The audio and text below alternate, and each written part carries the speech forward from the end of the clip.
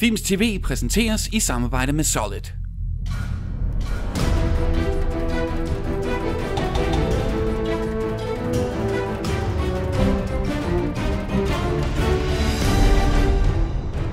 Give a little of my heart, only then the beat will start, keeping me in time. Life doesn't wait for long. Hey, Bo, what, what song is that? It's from my dream. That's The sweet. winding road. Mm, Oh, Tracy emailed me. The new couch came in. That's like a little greener than I thought. Probably just the pictures. Go around. Ah, this guy. Oh, oh, they're still on us. It's them. They found us. Hang on. Hang on.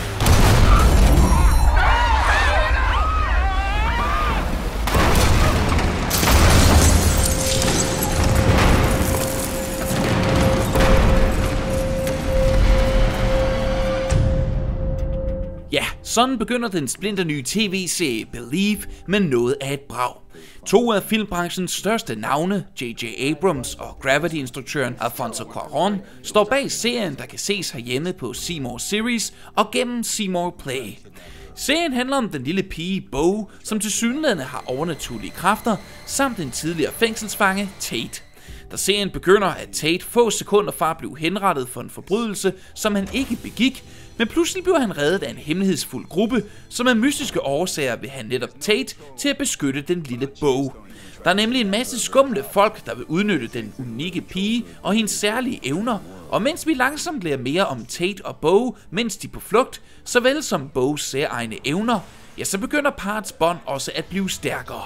Og allerede i seriens første afsnit lærer vi noget helt særligt om deres tilknytning til hinanden, som naturligvis ikke skal afsløres her.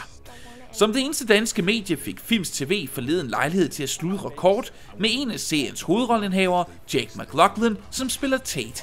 Og ganske vist medvirker den 31-årige skuespiller i en tv-serie, som har nogle ret utrolige elementer, men McLaughlins egen livshistorie er også utrolig i sig selv.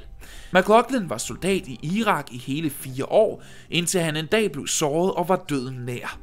McLaughlin tog hjem, overdynget med medaljer, men han kunne ikke få et bedre job end en plads på en lille fiskerbåd, før han fik et job som sikkerhedsvagt ved filmselskabet Universal Studios i Los Angeles. Med blot 1000 kroner på bankkontoen tog han til audition på krigsdramaet In the Valley of Ella. Han imponerede, fik en rolle i filmen, og siden da har en skuespilkarriere fået luft under vingerne. Vi lader lige McLaughlin fortælle nærmere selv. there's so many uh, people that are, are aspiring to be actors and all of that stuff and and it's a very competitive business it's an extremely competitive business if you don't get the audi- you know you go in for an audition if you're not in first you're in last you know it's uh, if you don't get the job you don't get the job and that's the bottom line but i always wanted to and i uh i dropped out of high school and took and I took my ged and I went up to Oregon, worked on the crab boat, and I moved back down to North Hollywood, and I got a job at a at Universal Studios as a as a security guard. I guess I kind of had it in my idea. Like you hear the story about Steven Spielberg just kind of finagling his way onto the lower lot of Universal and just you know Yeah. opening up his own office in there without anybody really knowing. And I kind of, I, I guess I, I, I don't know if I even knew that story at the time. I don't think that was something I found out until later. But I guess I, we kind of maybe had the same idea, just kind of figuring a way to be in it, you know, around it, and Yeah. then figuring something out, like maybe going in going in more of a backdoor way rather than trying to act your way into it. And then uh and then I got yeah, and then I got the oppor- the opportunity presented itself to me and then and then from there it was just a lot of sacrifice. You know, I got the part in the Valley of Ella and uh, you know my family told me so they said if you're going to pursue this this that's the easiest you're going to ever have it. You know, getting the first gig that you ever auditioned for. There's just so many interesting parties connected to the to the show. Of course, there's uh, Alfonso Cuarón, and there's also J.J. Abrams, and uh, J.J. Abrams, of course, is like renowned as the master of, of the mysterious. And I found this this sort of mysterious connection to you guys. I mean, I, I hadn't noticed this before, but you you did a small voice part for Cloverfield, and you did a little bit part in Super 8. So, is there any connection to you and J.J. Abrams? I just find that really interesting. Not not not not, I mean so he cast me in Super Eight. I mean he overall has the you know the the, the decision who who gets cast in, in his in his films, but uh Um, as far as Cloverfield's concerned, I don't know. I don't know that he had anything to do with that. The, they knew that I was in the military, and they had a bunch of um, voiceover stuff to do for you know a bunch of different scenes in the movie where it's over the radio, the military stuff, and so they knew I was in the military, so they asked me to come in, and I, you know, you can hear my voice over the over the loudspeaker on the helicopter or whatever on the uh, when everyone's going across the bridge, and a couple other times in the movie.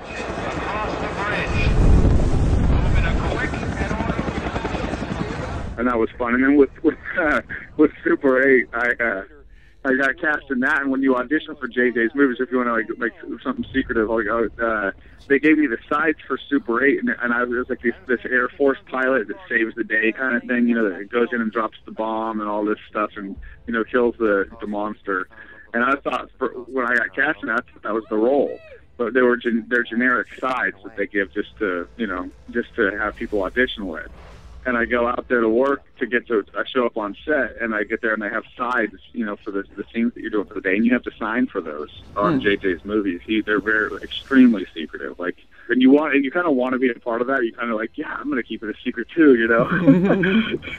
this is cool. Like, I like I'm in, I'm in the know, but nobody else is. So it's, it, you kind of it's kind of fun and you get there, and it was a totally different scene, and it was a scene that I did that was really just kind of a breeze. You just kind of breathed by me. In fact, when I went to go do the upfronts for this show, and JJ was sitting right behind me at the upfront, and he leans forward and he goes, "Who? Who?" It said I, I saw. I said that you were. It said that you were in Super 8. Who were you in Super 8? I was like, I would ask myself the same question because it was just like a, you know, it was just a really quick. You don't even see me. It was a really quick camera pan by. It was just. It we were both laughing about that. It was. It was pretty funny. It could be cool if, like, in a, in a future movie of his, you're, you're going to play the same character, and we're going to find out that it's always been the same character you've been playing throughout all these movies, who just magically pops up in all the right places at the right times. Yeah, yeah. Hey, I, hey, you know what? I wouldn't mind being in any one of his movies if I just walk walking around doing nothing. You know, I don't. It doesn't matter to me. I'm not, I don't. I don't have a big head. I'm a humble guy. I'll do whatever. How hands-on is he during the process of, of making believe? Wouldn't. No, he hasn't been out on set yet. Alfonso's been out on set a couple times since we since we got picked up. But he's he's you know he he reads the scripts and he offer gives gives us notes and gives everybody notes on where you know on ideas and and they take them they take them seriously and he does. I mean, for a guy that has this is clearly as busy as he is, you know, he's got got, got quite a few irons in the fire. He uh he's surprisingly involved as, to the extent that he is. It's it's it's um it's almost like he isn't human, so maybe that's why he's good at this sci-fi stuff. Thank you For what? watching me. Are you scared of me now? Everyone gets scared eventually. Johnny and I pretty much hit it off from the get-go. She's a she's a down-to-earth kid, and so are her parents, and that's uh I'm her little jungle gym that she likes to crawl all over in between cakes, and and it was never anything that was ever forced at all because she's uh they're such good people. They're just good people, and I and I connect well with good people, and so it's it's you know Johnny and I have a great, we have a really really really great relationship, and I don't usually keep keep in touch with people that I work with, but definitely I'll definitely be keeping in touch with with Johnny and her family. And She's just a great kid and fun to work with. So no, the chemistry there is just it, it's absolutely natural. I mean, I'm a, I'm a parent. I've been a parent for a long time, and uh, well, it seems like a long time. I mean, I say a long time, but 11 years, and so it um, gives you those experiences. Like that, I've always told everybody. You know, everybody asks me about acting classes and stuff like that, and I don't know. I think that the acting classes help you to apply reality to scenes, but um, the best acting school, acting class you can go to is living life. You know, I, I really, I really, truly believe that because that gives you those experiences to draw from, and um, and having kids definitely helps me with scenes with Johnny. Det var alt for denne gang på Films TV.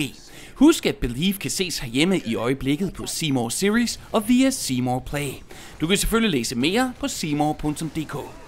På redaktionen har vi kun set seriens pilotafsnit, og selvom der ikke er sket så meget endnu, så kan man bestemt ane et stort potentiale med så store kreative kræfter bag kameraet. McLaughlin håbede selvfølgelig også på at få en anden sæson at gøre godt med, men den har altså endnu ikke fået grønt lys. Tak for denne gang, og på gensyn.